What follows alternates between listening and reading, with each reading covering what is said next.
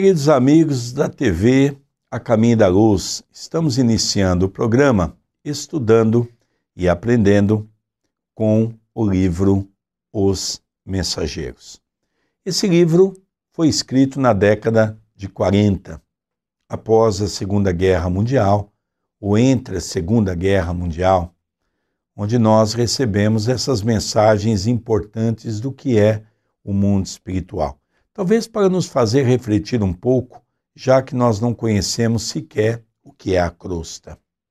No capítulo anterior, um rápido comentário, você vai se lembrar que Aldonina, junto de Cecília, continua a explicar a André Luiz e a Vicente a importância do trabalho no campo da paz.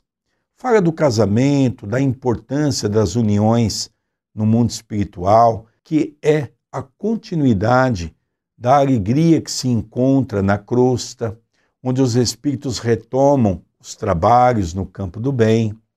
Ele explica a importância de formar lar no mundo espiritual. Ela fala que de cada 10 em 10 quilômetros tem uma instituição semelhante ao campo da paz.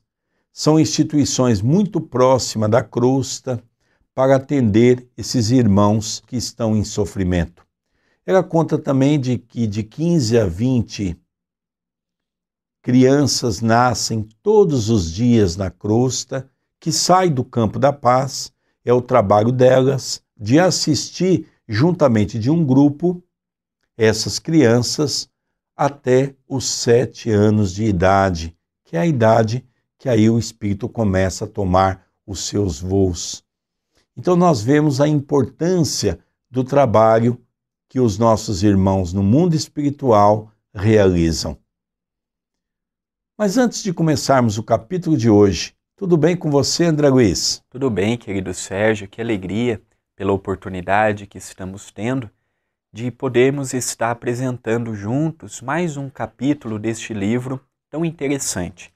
Gostaríamos de agradecer também ao nosso telespectador, a audiência que esse programa está tendo. O programa de maior audiência da TV A Caminho da Luz foi o estudo do livro Nosso Lar, e o estudo do livro Os Mensageiros está tendo o mesmo prestígio que teve o livro Nosso Lar. Então gostaríamos de agradecer a cada pessoa que assiste, que comenta, que compartilha, que divulga, que manda sua mensagem, que nos dá um abraço pessoalmente quando nos encontramos seja no Brasil, seja fora do nosso abençoado Brasil, é a você que nós procuramos com muito amor levar todas as semanas uma mensagem nova de reflexão à luz do Espírito de André Luiz, pelas mãos de Chico Xavier, sob a égide do Espiritismo. Vamos começar então o capítulo 31, Cecília ao órgão.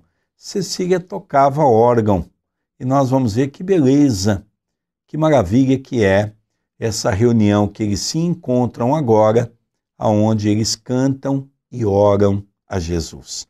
Inicia André Luiz. Poucas vezes no círculo carnal tivera o prazer de assistir à reunião tão seleta. Todos os lustres estavam magnificamente acesos e lá fora, as grandes árvores, docemente agitadas pelo vento brando, pareciam refletir o clarão lunar. Pares graciosos passeavam ao longo da varanda e das escadarias extensas. O castelo enchera-se de alegria com a crescente multiplicação de convidados. O administrador mostrava-se orgulhoso de confraternizar com os colaboradores diretos da sua obra, na recepção condigna aos amigos da colônia próxima. O júbilo transparecia em todos os rostos, e eu, observando a beleza do espetáculo, meditava na ventura da vida social. No ambiente daqueles que, começavam a compreender e praticar o amai-vos uns aos outros, distanciados da hipocrisia e das convenções aviltantes. Conversávamos animadamente quando Alfredo nos convidou para o salão de música. Houve geral contentamento. A senhora Bacelar, dando o braço à nobre Ismária, parecia encantada com a lembrança. Dirigimos-nos para o grande recinto, prodigiosamente iluminado por luzes de um azul doce e brilhante. Deliciosa música embalava-nos a alma.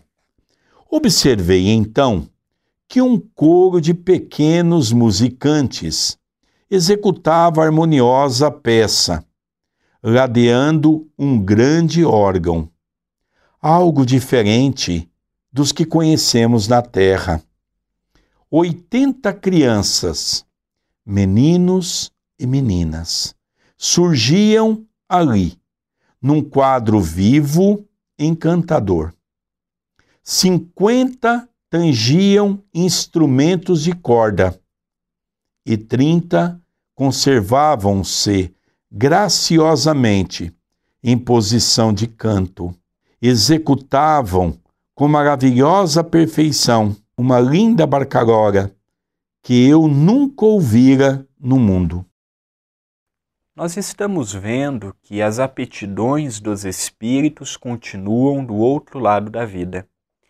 O que é belo aqui continua belo e sublime do outro lado. Talvez seja até difícil no primeiro momento compreendermos as realidades imortais do mundo espiritual porque a nossa compreensão ainda é muito voltada para o dia a dia aqui da Terra.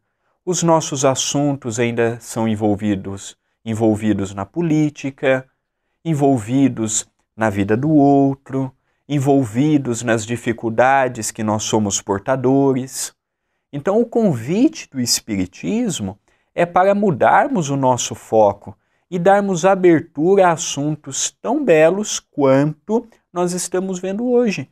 Então, por exemplo, nós vemos um salão muito vasto, um salão enorme, amplo, com 80 crianças cantando, 50 tocando instrumentos de corda, seja um violino, seja um violoncelo, seja um violão e outros instrumentos mais, e 30 cantando e entoando junto com aquelas outras 50 vozes e 50 instrumentos. Então, é o trabalho que nos convida à reflexão no dia de hoje. É verdade, André. E eu gostaria de que nós pudéssemos viajar nesse mundo, né? Porque nós vemos aqui na Terra tanta desgraça, tanto sofrimento. E muitas pessoas pensam que o mundo espiritual só tem umbral e no umbral é só sofrimento. Não, no umbral também tem felicidade. Nosso lar fica onde? No umbral. Campo da Paz fica onde? No umbral. É verdade que ele fica na periferia da crosta, ali muito grudado à crosta. E ali então as, as interferências são muito grandes. Mas eles não deixam de ter a paz de Jesus, como mencionou Aldonina e Cecília para André Luiz e Vicente. E essa paz de Jesus que faz com que eles tenham uma vida social normal como nós temos aqui na Terra. Então, nós vemos aquele casal que recepcionou aquele grupo de nosso lar e aqueles amigos que trabalham numa colônia ali perto. A noite era uma noite esplendorosa. Os amigos estavam ali, prepararam uma noite encantadora. 80 crianças, 50 com instrumentos de corda na mão. 30 com uma belíssima voz que cantava. O recinto iluminado, os corações encantadores, porque se encontrava num grande banquete espiritual. Então isso vem quebrar aquela ideia de que umbral é um lugar de sofrimento. Pare com isso. O umbral é a continuidade da crosta. Simplesmente isso. Nada mais do que isso. Você quer, já que vamos analisar a crosta e o umbral, a Síria, o que está passando hoje, o que é? É um momento do umbral em sofrimento. Agora, o campo da paz. O que, que eles estão fazendo? Aqui o que as pessoas que já trabalham no campo do bem estão fazendo na crosta. Reuniões para exaltar Deus nosso Pai. Reunião para trazermos Jesus para o nosso coração. É isso que nós começamos a entender que o umbral não é esse lugar feio pela qual todos dizem. Existe sim lugares de sofrimento nas zonas umbralinas, mas existem lugares maravilhosos compostos por aqueles que superaram a terra. Ah, mas você que está me ouvindo pode estar tá perguntando, e eu? Para onde vou? É muito simples. Você vai exatamente para aquele lugar aonde a sua mente está projetada hoje. Como é que está a sua mente? Você está fazendo o bem? Você está praticando a caridade? Você ora com frequência? Você está procurando eliminar o homem velho de dentro de si? Ah, você já está fazendo isso? Que bom! O campo da paz te espera. Nosso lar é o nosso projeto. Ah, mas eu ainda continuo aquele ser egocêntrico, orgulhoso, egoísta, vaidoso, ciumento, invejoso. Então, logicamente, para onde você vai? Para as zonas de sofrimento. Então, quem vai escolher o lugar pela qual nós iremos não é Deus, não é Jesus, não é os bons espíritos, não é os nossos familiares, somos nós através das nossas atitudes. Vamos continuar a ler a mensagem? Comovidíssimo, ouvi o administrador explicar. As crianças do posto são as nossas flores vivas. Dão-nos perfume, encantamento, alegria suavizando-nos todos os trabalhos. Abeiramo-nos do órgão, sentando-nos todos em confortáveis poltronas. Quando as crianças terminaram, sob aplausos calorosos, Ismária pediu a Cecília executasse alguma coisa. Eu? disse a jovem, corando. Se a senhora vem das altas esferas, onde a harmonia é santificada e pura, como poderei executar para os seus ouvidos? Não diga isso, Cecília. Tornou sorridente a generosa esposa do administrador. A música elevada é sublime em toda parte. Vá, minha filha, Lembre-me o lar terreno nos dias mais belos. E antes que a jovem bacelar perguntasse qual a peça preferida, Ismária continuou. Os serviços musicais do posto levam-me a recordar a velha fazenda, quando voltava do internato meus pais estimavam as composições europeias e, quase todas as noites, ensaiava ao piano. E fixando em Cecília os olhos úmidos e brilhantes, rematou: Sua mãe deve lembrar comigo a música predileta de meu velho e carinhoso pai. Notei que a senhora Bacelar disse alguma coisa à filha em voz baixa, e vimos Cecília caminhar para o grande instrumento, sem hesitação, com emoção indizível. Ouvimos-la executar magistralmente a tocata e fuga em ré menor de Bach, acompanhada pelas crianças exultantes. Fixei o rosto de Ismária, notando, pela luz do seu olhar, que seus pensamentos vagueavam longe, talvez em torno do antigo ninho doméstico. Via enxugar as lágrimas discretas e abraçar Cecília carinhosamente ao findar a execução. Agora, Cecília, cante alguma canção da própria alma, falou a nobre senhora com ternura de mãe, mostre-nos seu coração. Os senhores bacelar estavam satisfeitos e emocionados. Lia-se-lhes nos gestos o carinho com que acompanhavam os menores movimentos da filha. A jovem sorriu. Voltou ao teclado, mas permanecia agora fundamente transfigurada. Seu belo semblante parecia refletir alguma luz diferente que vinha de mais alto.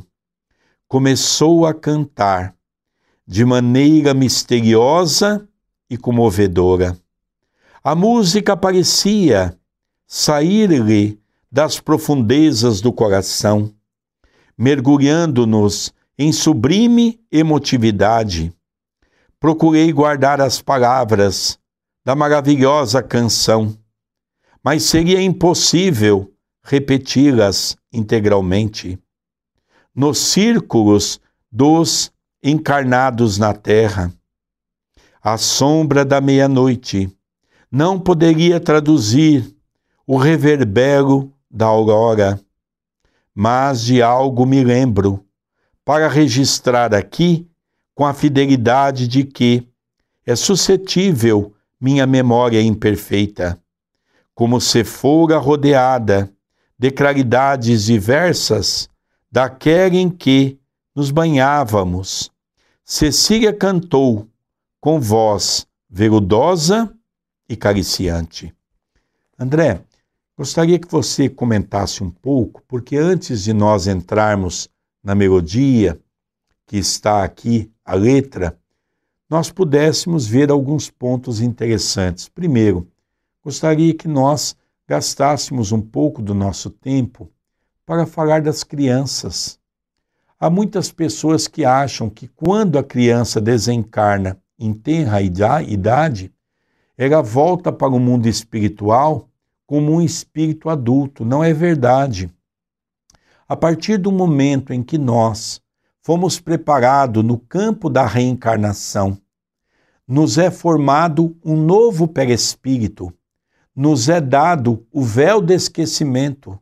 A partir desse momento, seja qual ele for o tempo, estando em feto ou estando na condição de alguns dias de vida, algumas semanas, alguns meses, retornaremos para o mundo espiritual na condição que estamos atualmente. É por isso que em nosso lar, a mãe de Lísias vem nos explicar que o salário mais compensador em nosso lar é aquele que aceita receber em sua casa crianças que desencarnaram em tenra idade, que o pagamento é duas a três vezes mais do que o trabalho normal em nosso lar.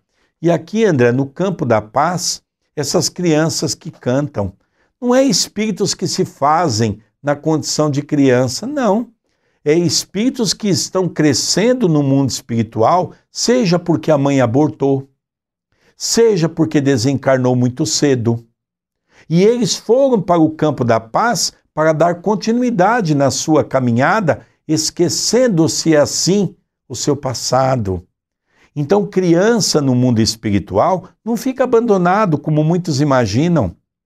É por isso que crianças não se manifesta na casa espírita. Então, os trabalhos mediúnicos, aonde tem aquelas crianças que se manifestem, tome cuidado. Geralmente são espíritos obsessores que se fazem passar por crianças. Se existe algo que funciona maravilhosamente no mundo espiritual, como tudo funciona maravilhosamente bem, é a acolhida às crianças que retornam para o mundo espiritual. Olha que coisa bonita, André Luiz. Realmente é um capítulo fascinante, que tem muitas nuances que nos convida a pensarmos no mundo espiritual não daquela maneira pequenina que às vezes nós imaginamos. O espírita tem que estar aberto às novidades, o espírita tem que estar aberto a estas informações, como as dos livros de André Luiz. É evidente que Allan Kardec é a nossa base, mas nós também não podemos fechar apenas no que Kardec disse e não podemos abrir muito aceitando esta onda de modas que o Espiritismo na atualidade vem tendo. Então nós temos que ter discernimento, prudência, bom senso, lermos tudo e retendo bem. O que acharmos que não é momento, deixarmos na prateleira, na prateleira do tempo e o tempo vai dizer se aquilo confere com a verdade ou não. A ciência está aí para comprovar. A filosofia está aí para investigar no seu quesito do saber, da investigação, de questionamentos que possam nos levar a uma conclusão. Então, André Luiz nos dá um panorama fabuloso mostrando que no mundo espiritual, quem gosta de música aqui continuará do outro lado também gostando. Quem aqui executa um piano, um violino, um órgão, seja que instrumento for, continua do outro lado. E o instrumento aqui desafina, como desafina do outro lado. E o instrumento que é afinado aqui também tem a necessidade de ser afinado lá. Se aqui existe a construção de um, de um instrumento, lá também existe. Talvez o nosso equívoco é pensar que o espírito pensa e já materializa um órgão, o espírito pensa e já materializa um piano, o espírito pensa e já é executado o instrumento. E na verdade não é. Na verdade, o mundo espiritual é uma sequência muito lógica, muito racional do que nós nos deparamos na atualidade. E é interessante, André, como tudo se assemelha à crosta, não é? Então descreve André Luiz que eles sentaram numa poltrona confortável, todos eles, o órgão, um instrumento, ela sentou no banco para tocar o órgão, então a gente percebe que é tudo muito semelhante às coisas da terra. E eu gostaria de trabalhar ainda essa ideia antes de nós darmos a leitura, porque veja que coisa interessante. No capítulo anterior, ela menciona que elas eram responsáveis a um departamento de Campo da Paz, aonde nascia de 15 a 20 crianças todos os dias na crosta, essa organização reencarnatória era programada no campo da paz e elas tinham como compromisso, junto de um outro grupo, de acompanhar essas crianças até aos sete anos de idade. Depois, no capítulo que nós estamos lendo, eles vão fazer uma confraternização e essas crianças que lá são atendidas que já estão no mundo espiritual, desencarnaram recém-nascida ou com pouca idade, foram acolhidas e elas então foram preparadas para o canto, por exemplo. Então, de 80 crianças, 50 tocava instrumentos de corda e 30 cantavam. Então vejam como nós estamos começando a perceber, porque se olharmos na Terra, vamos ver o Brasil. Se há um órgão que funciona, é um órgão da preparação para as crianças, com todas as dificuldades que nós temos. Então, temos creche, não temos crianças de rua, a não ser que não consigam é, dar um tratamento a essa criança, mas não tem. É, a justiça pode pegar as crianças daqueles pais que são presos, que estão nas drogas, levar para casa transitória, para que amanhã elas podem ser adotadas. Existe todo um cronograma, um critério para tudo isso. Então as crianças aqui são bem tratadas. Imaginemos nós no mundo espiritual. Vamos então ver a letra que essa nossa irmã Cecília estava cantando. Nós vamos então definir essa letra que André Luiz escreve para todos nós. Guardei para os teus olhos as estrelas brilhantes do céu calmo. Guardei para a tua alma todos os rios puros dos caminhos. Amado meu, amado meu. Como é longa a viagem entre escolhos, neste oceano imenso da saudade, ao sublime luar da eternidade. Em vão, a fada esperança acende a luz dentro de mim, porque te foste ao mundo assim? Volta, amado, ainda mesmo que as tuas mãos estejam frias e que teus pés sangrem de dor. Trago comigo o bálsamo, a ternura, volta a mim. Vem respirar de novo no jardim da imortal união. Curarei tuas chagas de amargura Dar-te-ei o roteiro para a estrada. Amarei os que amas, para que me abençoes com o teu sorriso. Volta, amado. Esquece a dor e a sombra do passado. Volta de novo ao nosso paraíso. Quando desferiu as últimas notas, vi o semblante lavado em lágrimas, como se fora banhado em pérolas de luz. Observei que a senhora Bacelar, muitíssimo comovida, tocou de leve a mão de Ismália e falou: Cecília nunca o esquece. A esposa do administrador mostrando-se extremamente sensibilizada, indagou: Não tem vocês novas notícias de Hermínio?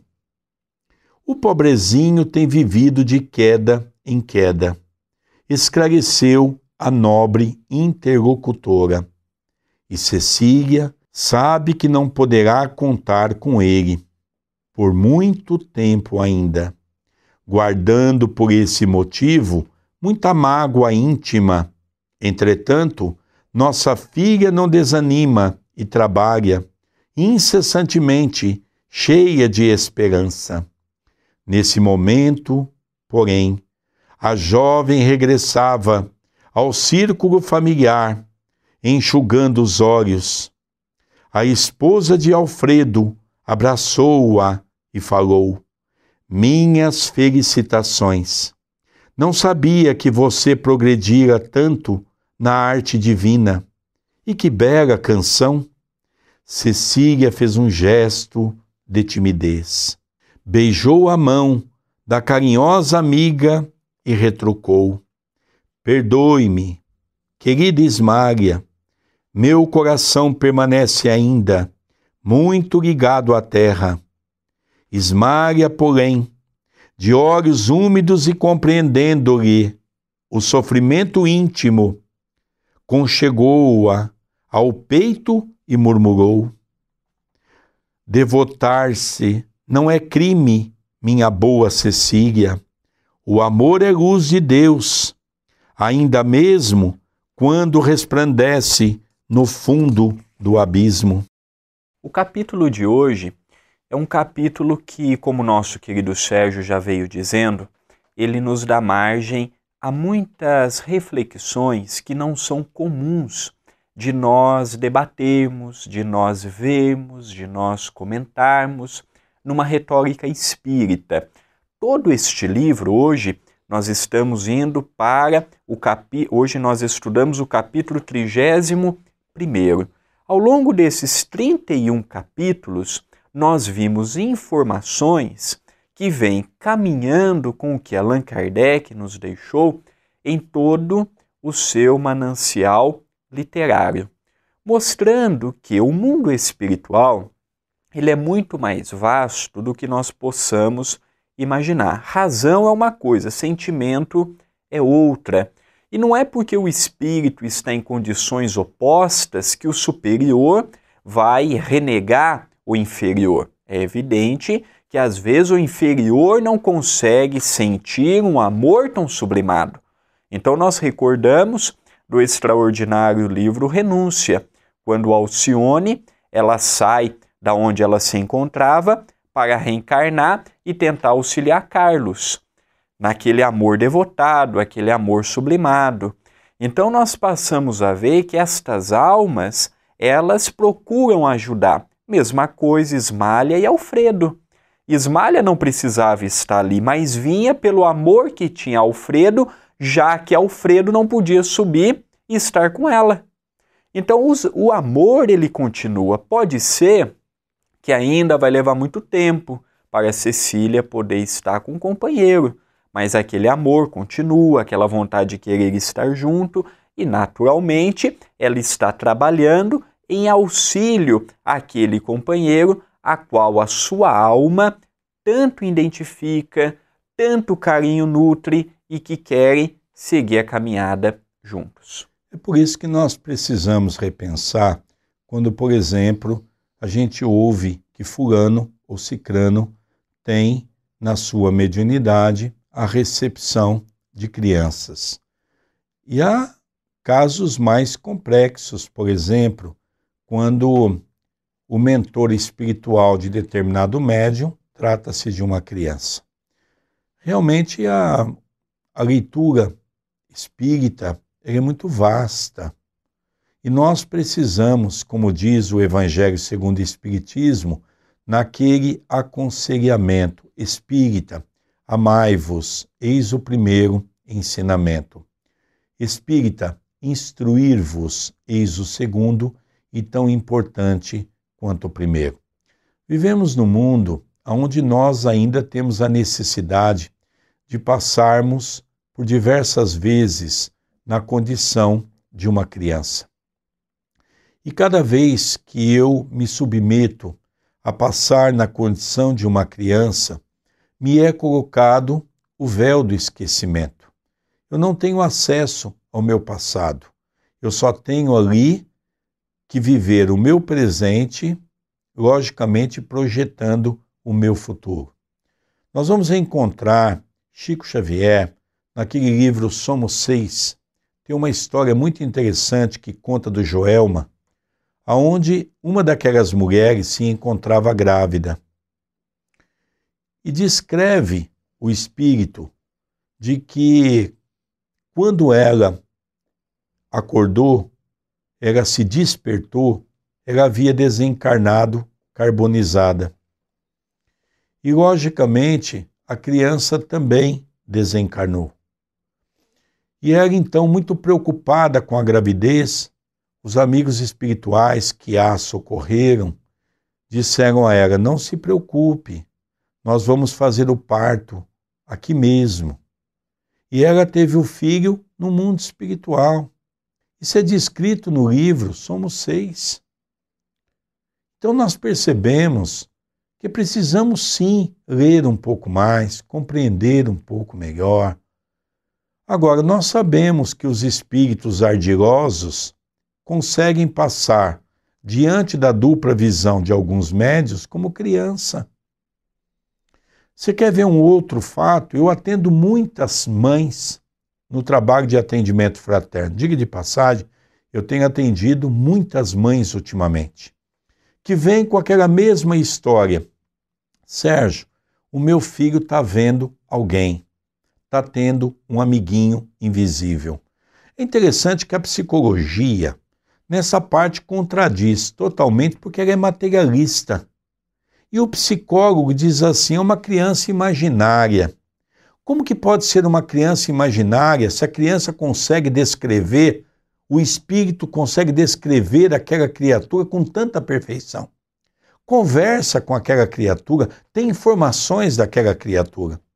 Mas tenho percebido também que muitos espíritos ardilosos têm feito se passar por criança para essa outra criança encarnada.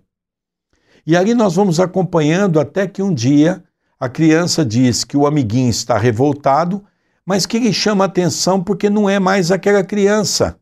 É um adulto enfurecido, porque já não consegue mais manter aquela condição de mostrar àquela criança que ela é uma criança, através de uma projeção mental. Então nós começamos a perceber que nós temos que levar esse assunto com mais seriedade então nós devemos, primeiro, nunca recriminar os nossos filhos, quando pequeno, ao enxergar os espíritos. Por quê? Ele vai te contar uma vez, ele vai te contar duas vezes. Se você reprimir ele e dizer isso é bobagem, isso é ilusão, isso é da sua cabeça, na terceira vez ele não vai te contar. E aí começa o drama da criança. Porque ele vai continuar vendo, e vai continuar falando com o amiguinho invisível. E o amiguinho invisível muitas vezes vai falar coisas absurdas e você, papai e mamãe, não terão acesso porque o teu filho já não confia mais em você. Por isso, é um assunto delicado que precisa ser tratado nas lides espíritas. E psicólogos não têm condições de tratar desse tipo de caso porque eles não acreditam na espiritualidade. E eles não podem falar daquilo que eles não conhecem. Então, para eles, é uma ilusão. Para eles, é uma fantasia. E para nós, não é uma fantasia, não é uma ilusão. Eu falo sempre para minha filha, que está no ano que vem agora, se forma para psicologia. Minha filha, você tem uma bênção de Deus que vai unir a matéria da terra, que vai te ajudar e muito, com a concepção espiritual a se tornar uma grande profissional, porque vai entender o drama das criaturas dentro do seu psique, no que tange a matéria e no que tange o lado espiritual. Então, o livro Os Mensageiros, em especial, o capítulo de hoje mostra para todos nós que no mundo espiritual levaremos conosco as nossas sensações, os nossos sentimentos, as nossas necessidades, as nossas qualidades e os nossos defeitos. E Ismália, dentre todos que ali estavam, era a representatividade do espírito mais elevado, mais engrandecido. Então ela, sempre com muito amor, atendia a todos e com Cecília deu aquela atenção necessária, porque sabia que Cecília, após tocar e após cantar, sentiu e se recordou do companheiro que estava a duras penas aqui na terra, pelo seu próprio engano, passando pelos seus equívocos. É interessante, André, que o que nos chama a atenção é que enquanto ela estava concentrada, ela se doou de tal maneira que ela foi envolvida como num processo que nós chamamos aqui de mediunidade, por espíritos superiores. Estamos sempre acompanhados. Seja qual a dimensão nós estivermos, estaremos sempre acompanhados pelos espíritos que estão ligados à nossa faixa vibratória. É uma temática muito vasta, muito ampla, muito atual, que merece da nossa parte, sempre que tivermos a oportunidade, de refletirmos mas você que está acompanhando o nosso programa e está chegando a ver apenas os últimos capítulos, nós gostaríamos de convidá-los a assistir desde o primeiro, desde o prefácio de Emmanuel, porque é um livro sequencial que às vezes, se nós não entendemos o seu início, fica difícil compreendermos como chegou até o contexto que nós estamos hoje. Então, quem quiser acompanhar é pelo YouTube da TV A Caminho da Luz ou pela programação da TV A Caminho da Luz. O site da TV é tvacamindaluz.com.br ou canal do YouTube, youtube.com.br TV a Caminho da Luz. Você se inscreva no canal e tem a playlist Estudando e Aprendendo com o livro Os Mensageiros. Mas eu vou fazer um convite também, André, e ao, no, ao nosso telespectador, para que se atente. É importante você que vai estudar conosco possa ter uma postura diferente. Ah, eu já li o livro, eu já conheço. Não. Eu vou convidar você a acompanhar capítulo por capítulo, procurando antes fazer uma prece, procurar tirar aquilo que nós julgamos saber e acompanhar capítulo a capítulo para irmos acompanhando a linha de pensamento que André Luiz coloca para nós. Porque o grande problema é que nós lemos uma obra. E hoje nós estamos sendo convidados a estudar essa obra. E como nós ainda temos dificuldades de entender o mundo espiritual, nós lemos com os olhos superficiais. Ou seja, não nos aprofundamos. Então é isso, André, que nós queremos convidar o nosso telespectador para que tenhamos aquilo que Jesus nos alertou: olhos para ver e ouvidos para ouvir. O culto do Evangelho no Lar é realizado todos os domingos às 18 horas de Brasília.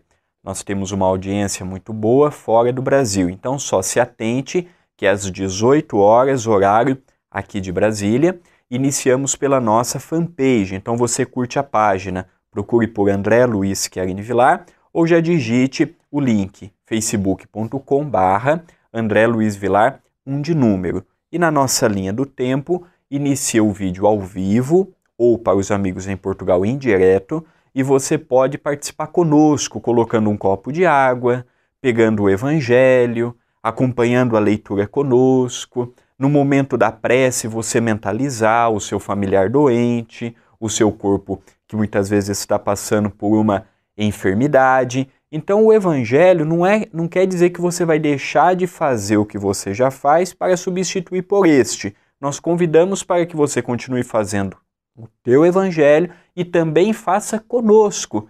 Quanto mais evangelho, melhor para nós mesmos, mais equilibrados e em sintonia com o alto nos encontraremos. Queridos amigos, vamos encerrar o programa estudando e aprendendo com o livro os Mensageiros. Esse livro, sempre vou fazer uma referência, que é da Lavra Mediúnica de Chico Xavier e do Espírito de André Luiz. Gostaria de agradecer a sua audiência e até a semana que vem. E rogamos a Jesus que nos abençoe e nos guarde hoje e todo sempre. Um grande abraço, um grande beijo.